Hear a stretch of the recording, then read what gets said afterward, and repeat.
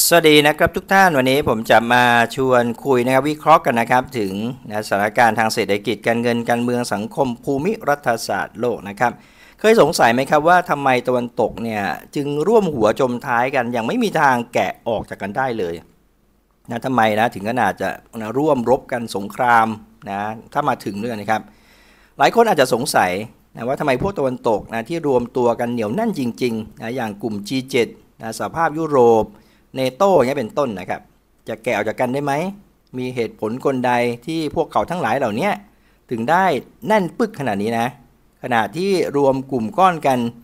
นะเขาเรียกว่าพร้อมนะที่จะเข้าสงครามร่วมกันนะครับรบกับรัสเซียเป็นศึกใหญ่ระดับโลกกันเลยทีเดียว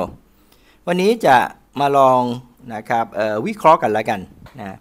ประการแรกนะครับนับจากหลังสงครามโลกครั้งที่2เนี่ยพวกยุโรป นะที่ร่วมกับสหรัฐในการปลดปล่อยตนเองออกจากกองทัพนาซีเยอรมันจนสำเร็จนะครับกลายเป็นผู้ชนะในสงครามโลกครั้งที่ 2 ส่วนเยอรมันนะครับถูกแบ่งออกเป็นนะเยอรมันตะวันตก และเยอรมันตะวันออก แบ่งกันไปคนละค่ายนะครับ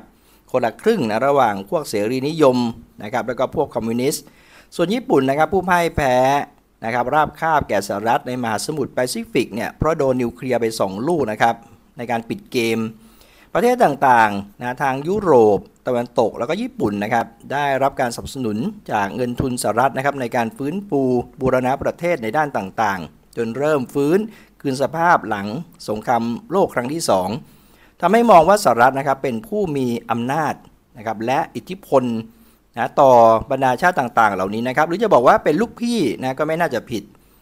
ด้วยแผนการเงินระบบใหม่นะครับตามข้อตกลงที่เรียกว่าเบตเทนบูธนะครับที่มีสหรัฐเนี่ยนะเป็นผู้นำทำให้ดอลลาร์เนี่ยโดดเด่นขึ้นมา แล้วก็เป็นพระเอกในสกุลเงินทั่วโลกนะครับที่ใครๆก็ปรารถนาต้องการนะรวมถึง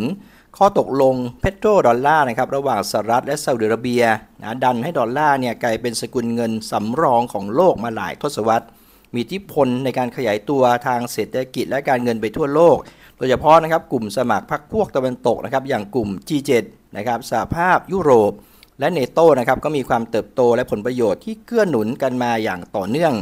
ยาวนานภายใต้อิทธิพลดอลลาร์เป็นสกุลเงินสำรองของโลกนะฮะดังนั้นนะครับมันไม่ใช่แค่เปลือก แต่โครงสร้างนะครับเ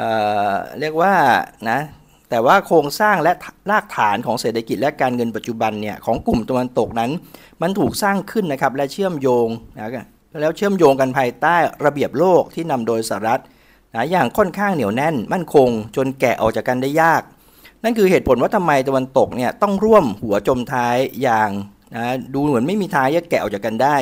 ภายใต้ลูกพี่สหรัฐนะครับในขณะที่ถูกกลุ่มนะผู้ท้าชิงอำนาจเกิดใหม่ขึ้นมาท้าทายนะที่นำโดยคู่หุ้นส่วนนะครับรัสเซียจีน และก็พันธมิตรบริกส์นะครับ เขาเรียกว่ากลุ่มตะวันออกและโลกขั้วใต้นั่นเองนะจึงน่าสนใจมากๆนะครับนะว่าทำไมถึงเป็นอย่างนี้เหตุผลก็คือร่วมกันนะลงรากฐานสร้างโครงสร้างพื้นฐานกันมาร่วมกันนั่นเอง จึงแกะออกจากกันได้ยากนะครับ เจอกันใหม่คลิปหน้าสวัสดีครับ